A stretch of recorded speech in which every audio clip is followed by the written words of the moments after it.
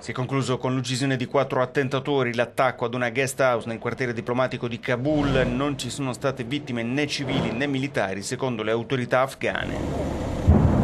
L'assalto è scattato poco dopo le 11 ora locale nel quartiere di Wazir Akbar Khan, sede di ministeri ed ambasciate. L'hotel, preso di mira dal comando armato taliban, è un punto di riferimento per gli occidentali a Kabul, frequentato in particolare da australiani. Appartiene alla famiglia del Ministero degli Esteri Salahuddin Rabbani.